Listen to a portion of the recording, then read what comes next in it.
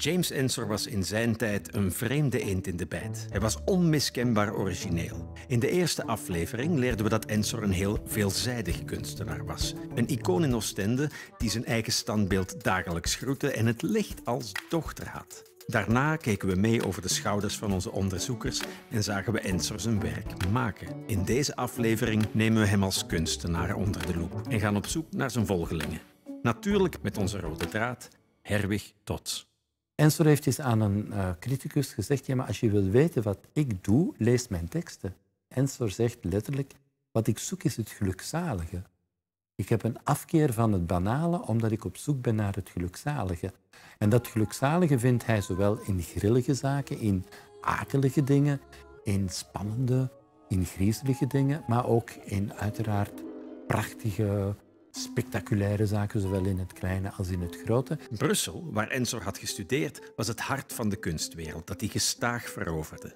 Hij was een van de oprichters van het anti-academische kunstenaarscollectief Levin. Ze hielden grote jaarlijkse tentoonstellingen in Brussel met artiesten als Pizarro, Monet, Van Gogh en Cézanne. Ensor was graag het middelpunt van die tentoonstellingen met heel veel werk en grote speeches. Het merk Ensor, man van maskers. Je vraagt je af wat hem bewoog. Hij wil tot die avant-garde behoren, maar hij wil in die avant-garde kringen niet de tweede viool spelen. Hij wil wel degelijk de eerste viool spelen. Hij is een kunstenaar die voortdurend het nieuwe zoekt, die wil vernieuwen, die wil behoren tot, laten we zeggen, die garde van vernieuwers. En die het dus ook niet pikt als men zijn uitzonderlijk talent onvoldoende waardeert. En soort die uitgesproken avant-gardist wil zijn, botst onvermijdelijk op een groep van conservatieve liefhebbers en critici die zeggen, maar dit is toch echt niet wat we vandaag nodig hebben. Realisme is goed, maar een oesterreedster op twee meter dat is toch niet nodig? Dat hoeft toch niet? Vanaf 1900 werd Ensor hip onder de modernisten. En sindsdien is hij een inspiratiebron voor andere kunstenaars gebleven. Het werk van Ensor raakte niet gedateerd. Waarom? We vragen het aan galeriehouder Tim van Laar. Kunst is sowieso dat als 1 plus 1 3 is. Tim weet als geen ander wat de harten van jonge kunstenaars sneller doet slaan. Ja, James Ensor is voor mij gewoonweg een van de allerbelangrijkste kunstenaars ooit. Ik vind hem een van de allergrootste. Waarom? Omdat uh, hij eigenlijk nergens te plaatsen valt. Hij behoort tot geen één strekking, geen één uh, isme. En uh, hij is totaal op zichzelf. Men weet wel dat hij beïnvloed is een beetje door Turner en Goya, maar, je ziet het niet. Je voelt de, de, invloed van Ensor ook in veel van mijn kunstenaars. Bijvoorbeeld in het werk van uh, Bram de Munter, de jongste kunstenaar van de galerie, is nog maar 26. Dan voel je het ook in bepaalde elementen indirect in het werk van Rinus van de Velde. En dan heb je ook bijvoorbeeld een Canadese kunstenaar, uh, Marcel Zama.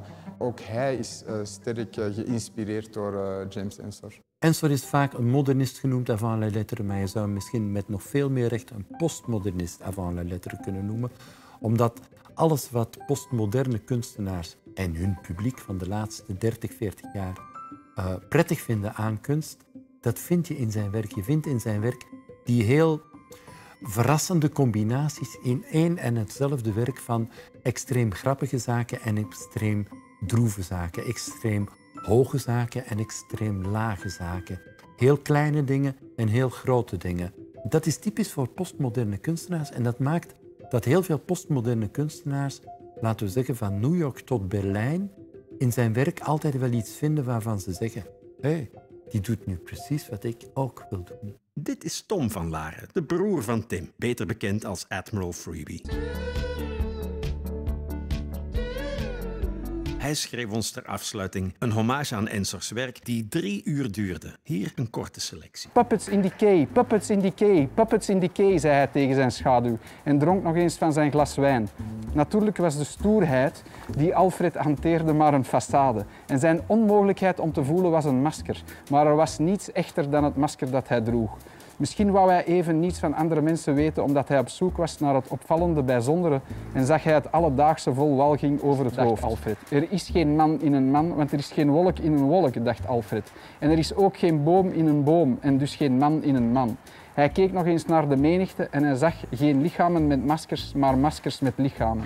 Maar de maskers zichzelf zijn, zo was Alfred niet. Net op tijd, want hij moest de volgende dag naar de intrede van Christus in Brussel. Hopelijk had hij geen houten hoofd en was er geen file. Tom heeft ons aan het eind gebracht van onze lofzang in drie delen. Al is er nog zoveel dat we niet weten. Ensor was ook zo onverbeterlijk ongrijpbaar. Hij diende het licht en stak de draak. Uiteindelijk ging het allemaal op in zijn werk. Ontluisterend. Betoverend. Wonderlijk.